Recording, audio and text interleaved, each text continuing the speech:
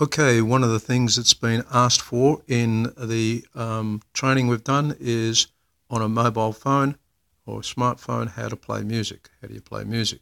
So, how do you go about doing this? Okay, first of all, be able to play music on a phone. Generally, but not always, you need to have the actual music on your phone, and the music is in the form of MP3 files. Talk about that later on if someone wants to email me, ask me about it. Okay. Um, so you've got to get the, your files onto your computer. Then you actually need an application that allows you to play the music. So there are heaps of internet that will allow you to play music. One that I've downloaded is simply called Music Player, which is down here, as you can see. Okay, so uh, all I do is tap on my Music Player app, and there we are. It opens it up.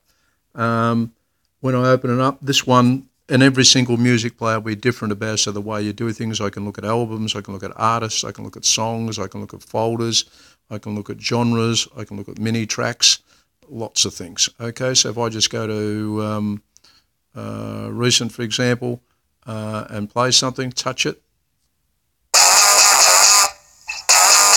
it's playing. Stop playing it, I just press the pause button. Oh, not to stop playing, to pause it, I press the pause button. I want to stop playing it, I don't know how I do that. I think you press, there's a stop button somewhere, up the top, down the top here probably, when the music's playing. No, it's not there. Okay. Oh, yes, it is. And that's the recorder that I'm recording at the moment. Okay, so that's that's basically how it works. Um, there's lots of options within it, and that's one way of playing music. Uh, another way of playing music is if you've already got, which I'll just come out of that. And by the way, when you're playing music, um, a music player will continue to operate no matter what other application you're using, other than probably when you want to you, use a speaker for something else, like when you're in a phone call. It'll just interrupt the music. You're in the phone call. When you finish, the music starts playing again. If you go into File Manager, which I've got on my phone, you can. There's also another way of playing the music is simply to go into the files where your music is, and then just use that same app to play it. So I've got a, an SD card here, and I've got a folder called Music. Right. There's my music. I've got six folders. My wife's favourites. Uh, I want to play that one. I just play it. It says what application you want to open it with. And I've got more.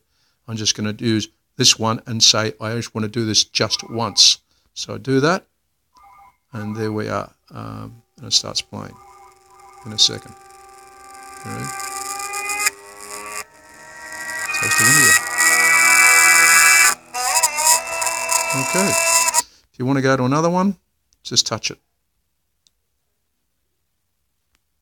Where's, the, where's that one?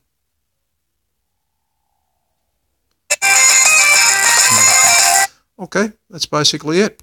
Right, that's how easy it is to play music. The next question I'm going to get from people is, how do I get music to put on my phone, or how do I put the music on my phone? I've already done another uh, video, a video that shows you how to get the files off photos from your computer to your phone, you choose the opposite procedure to get it from your computer to your phone. And so you can copy all your music from your computer to your phone.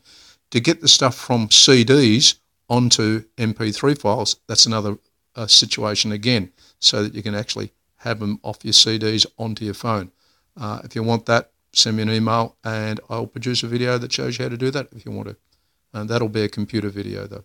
Okay, any questions, email me. Bye.